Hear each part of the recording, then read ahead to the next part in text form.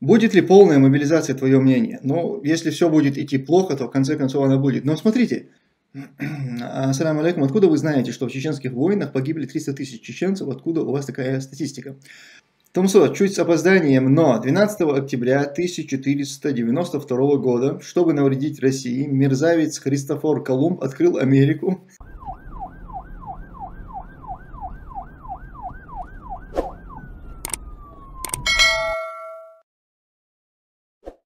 Будет ли полная мобилизация, твое мнение? Ну, если все будет идти плохо, то в конце концов она будет. Но смотрите, вот мы говорим про полную мобилизацию, так как будто бы сейчас она не полная, как будто реально вот они сказали это магическое слово э, частичное, и, и как будто она действительно частичная. Ну, она ведь не частичная. Там полный трэш происходит. Там людей призывают, там уже недовольные даже вот эти ура-патриоты или люди... Э, которых нельзя отнести к ура-патриотам, но они такие были, как бы помягче сказать, такие лоялисты, да, вот всячески соблюдали там все, в целом говорили, ну война это плохо, но, но вот нацисты там все-таки были ведь в Украине, а вот русский язык ведь там все-таки запрещали, вот такого, э, такая категория людей, даже они сейчас постят различную информацию, допустим, про какого-то работника мэрии, которого внезапно, мэрии Москвы, которого внезапно мобилизовали, отправили на войну без какой-либо подготовки, человек вообще не служил, и все уже грузом 200 его вернули, и они такие все хватаются за голову, как так? Вот вы, значит, человека неподготовленного отправили его а, погибать, а те им отвечают, ну, вообще в целом мобилизация идет, частичная мобилизация идет по плану, но какие-то ошибки просто бывают. Видимо, это была та самая ошибка. На самом деле это никакая не ошибка, и мобилизация никакая не частичная. Мобилизация, она полная, просто они хотят вот так вот, не хотят это говорить вот так открыто, чтобы рейтинг вообще куда-то в бездну не ушел. Поэтому они говорят частичное, а делают на самом деле обычную мобилизацию. А вот если вопрос заключается в том, объявят ли они ее официально, что она полная, что это война и бла-бла, ну, в конце концов, им, наверное, придется это сделать уже, не скрывая. Но все будет зависеть от того, как будут идти дела на фронте. Если дела будут идти плохо, то придется объявлять и полную. России бы очень хотелось, чтобы война перешла на их территорию. Они сейчас поэтому, по всей видимости, готовят различные провокации, об этом, по крайней мере, сообщают украинские спецслужбы то они на э, белорусской границе там что-то готовят, чтобы сказать, что украинцы якобы напали на Беларусь.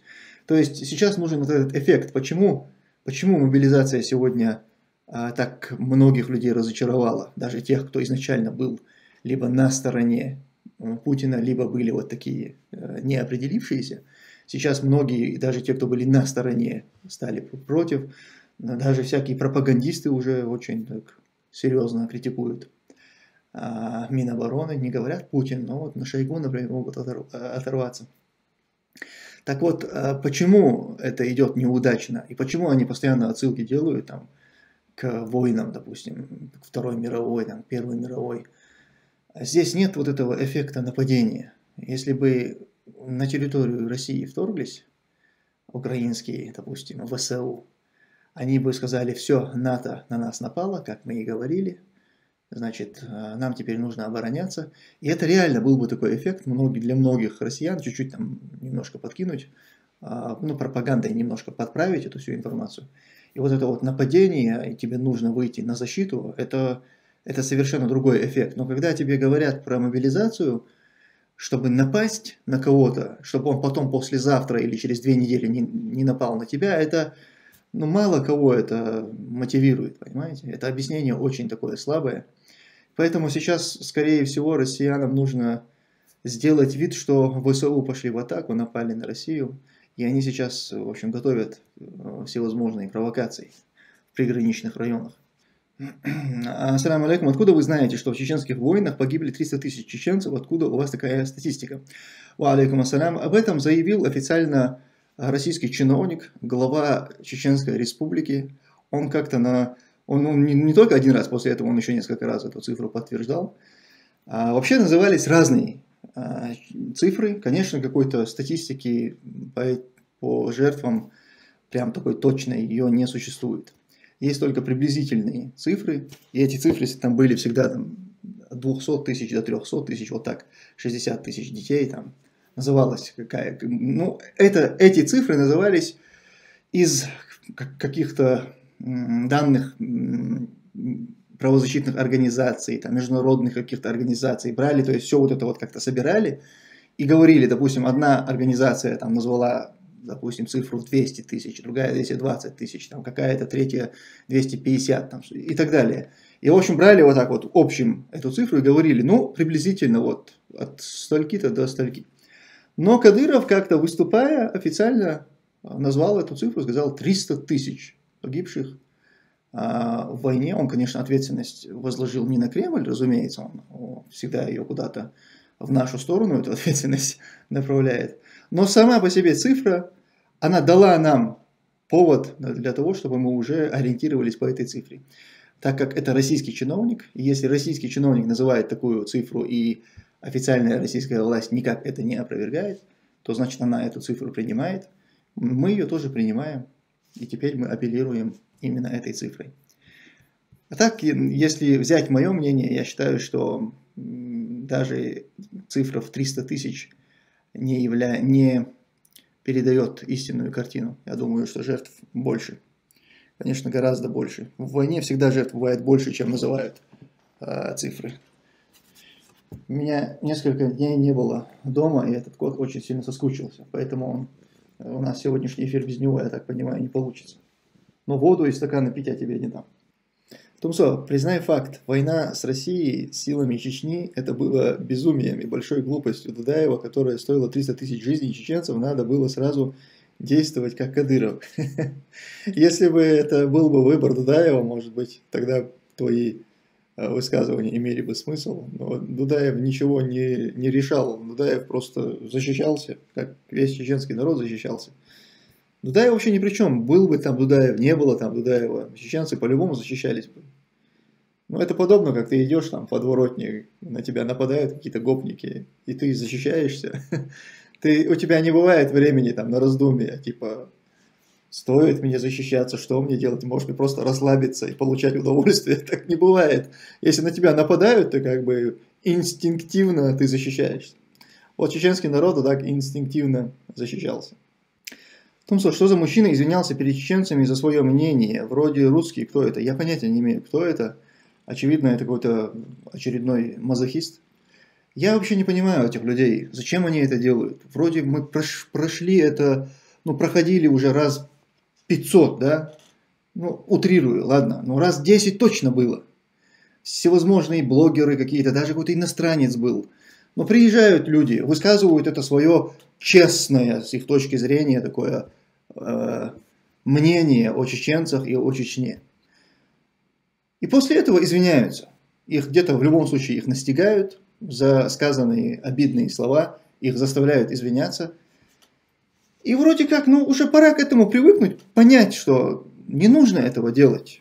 Выскажись как-то осторожнее, аккуратнее. Вот, например, вот этот тип э, высказался очень некорректно чабаны, там что-то что бараны с гор спустились и так далее. Я даже не хочу это комментировать, это понятно, что это полный э, дегенерат, этот тип. А, но меня, меня интересует другое, что это за мазохизм такой, вот это вот желание быть униженным, чтобы тебя, его же наверняка с ним провели сначала профилактическую беседу с рукоприкладством, после чего он записал эти извинения – но зачем вы это делаете? Неужели вы не понимаете, что вы будете следующими? Вы сделаете что-то подобное и будете следующими.